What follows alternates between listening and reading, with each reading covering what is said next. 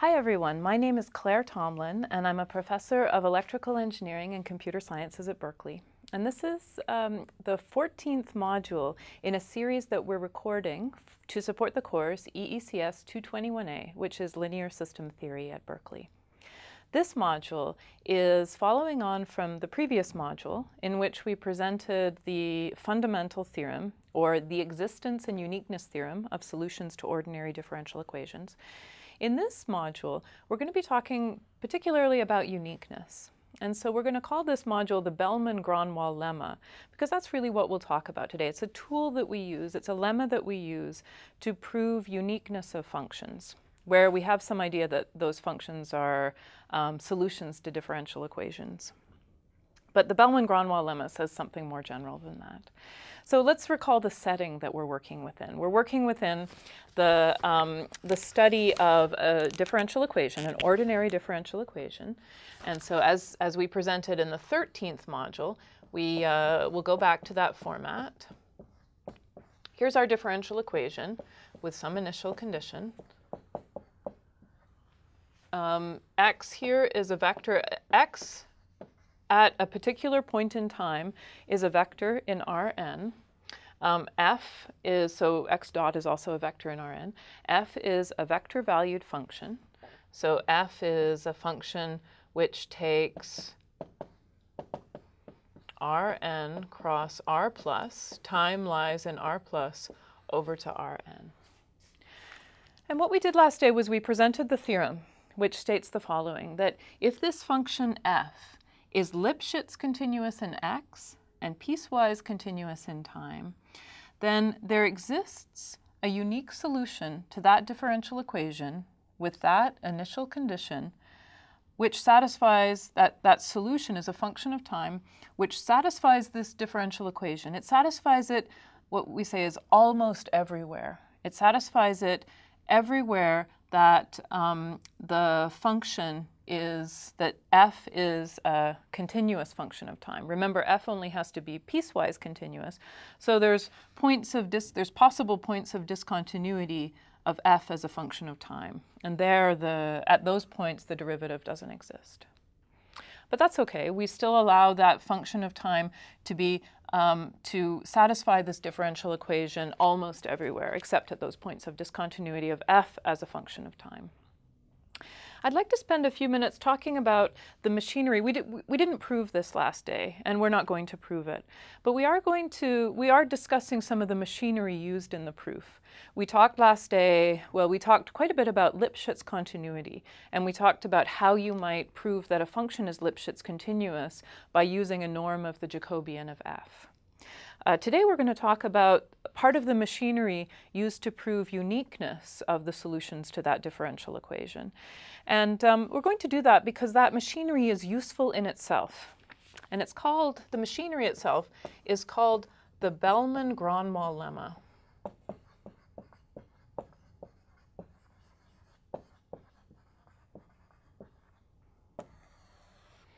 Okay, so let's state the Bellman-Gronwall lemma. It's a nice little lemma, which is easy to state and easy to prove. So suppose we had um, functions u and k. These are real valued functions. They're piecewise continuous, and they're, they're positive. They're greater than zero. So real valued, piecewise continuous, and they're greater than zero on R plus. Okay, so they're going to be functions, let's say, of time, um, real valued, piecewise continuous, and positive on R plus. Um, and then we also have some constant c, let's call it c1, which is greater than 0. And we'll also have some initial time, and we'll assume that time is greater than or equal to 0. Then the Bellman-Gronwall lemma states the following. If u, the function u of time, can be bounded to be less than or equal to c1 plus, actually c1 should be greater than or equal to 0, sorry. c1 can be 0 if you want. So if u of t is less than or equal to c1 plus the integral from t0 to t of k of tau, u of tau, d tau, these are these functions here. Write the k's the same way. Then the following bound can be made. So if, if you can establish this bound on u, then the Bellman-Gronwall lemma states the following, that u of t is bounded to be less than or equal to c1 e to the t0, uh, e to the integral from t0 to t of k of tau d tau. So in the first inequality, the function u appears on both sides. In the second inequality, u just appears on the left-hand side, and that's often a more um, useful bound to have when you're trying to show uniqueness of functions, and we'll see why when we apply this. Okay, so basically the setup of Bellman-Gronwall says that if you have such a structure of functions and constants, if you can be bounded by this inequality, then you can show that it can be bounded by this inequality. The proof of this is quite nice. Let's just quickly show the proof.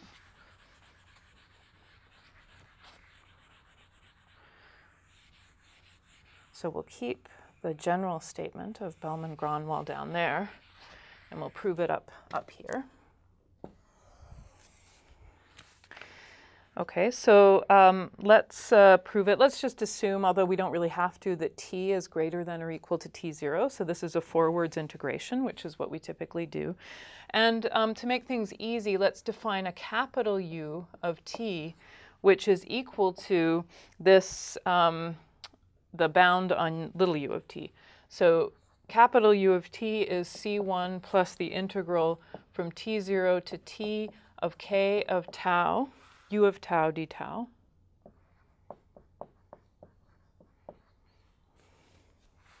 And so basically we've just renamed the right-hand side of that inequality. So that tells us that just by that rename that u of t is less than or equal to capital U of t.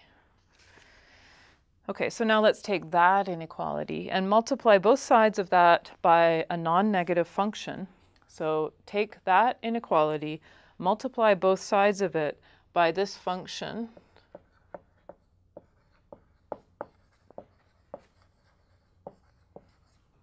which is k of t e to the minus integral from t0 to t of k of tau d tau.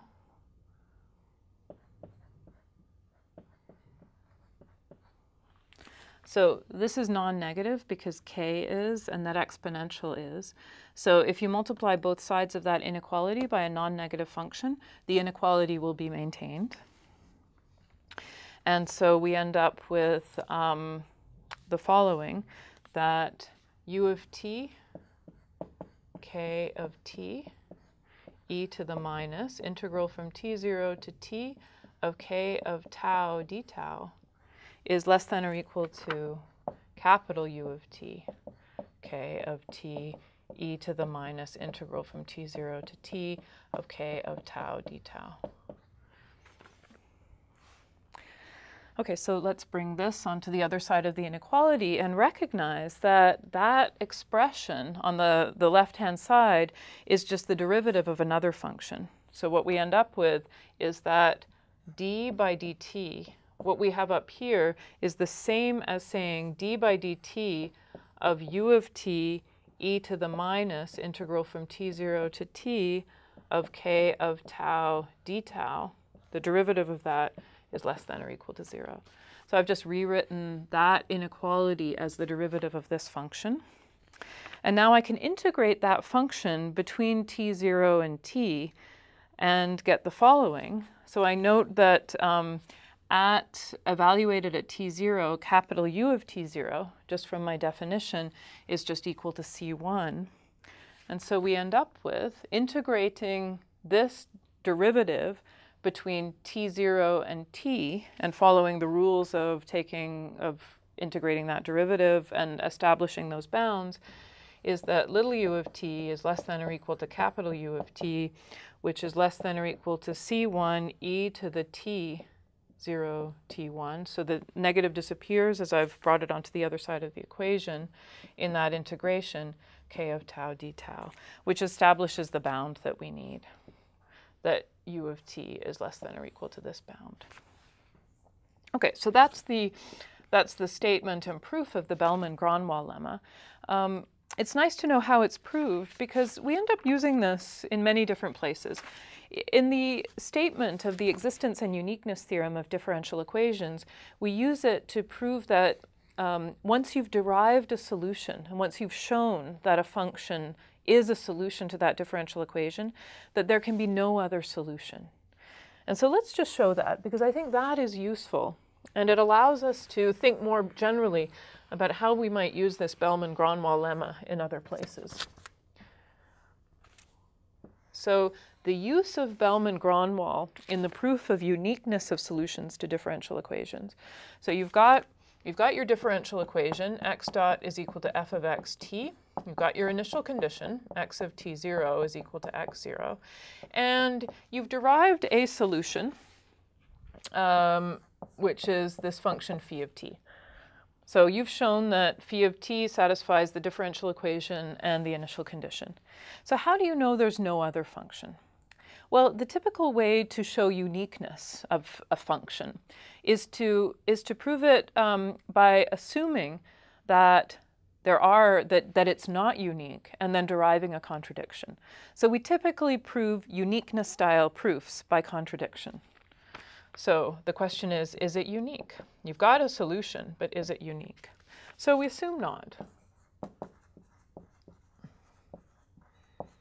Therefore, there exists another solution, let's call it um, phi of t, which satisfies the differential equation and the initial condition. So we've got these, these two solutions and they're not equal to each other. All right, so now we, it's up to us to try to derive a contradiction. And so now it's fairly straightforward. Um, so we've got another we've got another solution, and we know that um, we know that phi dot is equal to f of phi t, and we know that psi dot is equal to f of psi t. They both satisfy the differential equation, and they both satisfy the initial condition. So phi of t0 is x0, and psi of t0 is also equal to x0. Well, what does that mean? Well, I can, I can write these differential equations in terms of their integral form. So I can write uh, phi of t to be equal to x0 plus the integral from t0 to t of f of phi t, or tau, d tau. And I can do the same thing for my other candidate, or my other solution. Psi is equal to x 0 plus the integral from t0 to t f of psi tau d tau. Okay, and that's these are functions of time too. I've just dropped the t there. Uh, let's take the difference between those two. So I see then that phi of t minus psi of t. I'm going to take the difference and then I'm going to take the norm of both sides. Um, so I'll do a couple of steps in one. I'm, I'm subtracting this equation from that equation. The x zeros cancel. And I can bring the f's under that integral sign since the integration is a linear operator. I'm going to take the norm of both sides and then I'm going to bring the norm inside the integral. So I end up with the following inequality that this is less than or equal to the integral from t0 to t of f of phi of tau minus f of psi of tau d tau. Okay, and, and now I'm going to do one more thing. I'm going to use the fact that f is Lipschitz continuous in this argument here. So f, we know, is Lipschitz continuous in x. So it's Lipschitz continuous in phi and psi. Um, and I can, um, so I can look at uh, the difference between f of phi and f of psi, that norm, and bound it to be less than some Lipschitz function k of t times the, the distance between phi and psi. And that k of t is a piecewise continuous function which exists between the, um, the time interval that I'm interested in, in particular between t0 and t. And it's a piecewise continuous function in, in time, so it has a largest value. It has a supremum over that um, interval from t0 to t, let's call the supremum of that function k of t over that time interval, let's call it k bar. So k of t is less than or equal to k bar over times between t0 and t1 or t0 and t, whatever interval we're looking at. And so then I can bring that k bar outside the integral and rewrite. So I've performed, I've used Lipschitz continuity to rewrite f, or to bound f to be less than or equal to k of t times this norm here. And then I'm calling k bar the largest value that k of t takes on in that integral. So it loses its dependence on time. You can bring it outside the integral and, and establish the following inequality. Okay, but that's nice because now this inequality here is in the form of the hypothesis of the Bellman-Gronwall lemma. Namely, if we call this the function u of t in the Bellman-Gronwall lemma, if we call this k bar the function k of t, it doesn't depend on t here, and that's fine, but if we call that function k bar the k of t in the Bellman-Gronwall lemma, and then we see that integral of that same term u of t here, and um, the constant c1 is equal to 0. Okay, so the u of t and the k of t and the c1 are the terms that we used in the Bellman-Gronwall lemma. So we've proven the Bellman-Gronwall lemma, namely that if we can establish u of t to be less than or equal to c1, which is 0 here, plus um, k of t or in, in the case of the Bellman-Gronwall lemma, k of t was under the integral sign, so that doesn't matter here.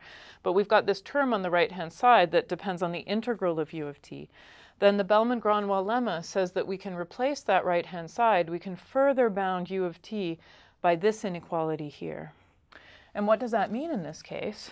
It just means that, let's just erase this part here so we still see the machinery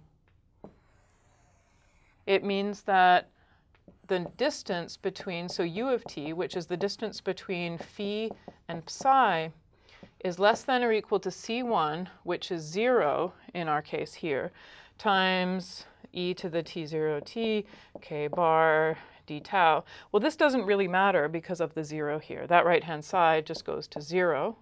And we have that the distance between phi and psi has to be less than or equal to 0. But a norm, by its definition, is always greater than or equal to 0.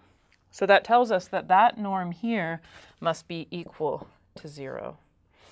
Or we can just replace that right-hand side with 0, the inequality with an equality. Uh, for a norm to be equal to 0 means that the thing inside the norm has to be equal to 0, which means that phi must be equal to psi. So we've established the contradiction where we assumed at the beginning that we had two different functions, phi and psi, and then in looking at the development of this, we derived, using the Bellman-Gronwall lemma, that indeed phi must be equal to psi. And since these were chosen, since, well, this was our candidate solution, and this was chosen to be any other solution, it's generally true that any other solution that you find to that differential equation must be equal to any other solution. You can only have one of them. So what we've done here is we've presented um, part of the machinery which is used to prove the fundamental theorem. In particular, we've shown here the Bellman-Gronwall lemma, and we proved it. And then we used it in example to prove uniqueness of solutions to our ordinary differential equation. And what we used in the proof was the Lipschitz continuity of the function f. So you saw that condition come out here in that part of the proof. So we haven't proven the part of the theorem which shows that there exists a solution, but this is the machinery that shows uniqueness of the solution. Good. So we've, uh, in summary now, over the past two modules, we've presented the fundamental theorem, we've discussed what the conditions mean, we've used those conditions, and in particular, we've proven the part about uniqueness of solutions in that, um, in, in that uh, expression of the ordinary differential equation. Now what we're going to do is move on, and in the next several modules, you're going to see uh, particular forms of differential equations that we will show satisfy the conditions of the existence and uniqueness theorem, um, but that also lead us into the general theory of linear systems. Thank you very much.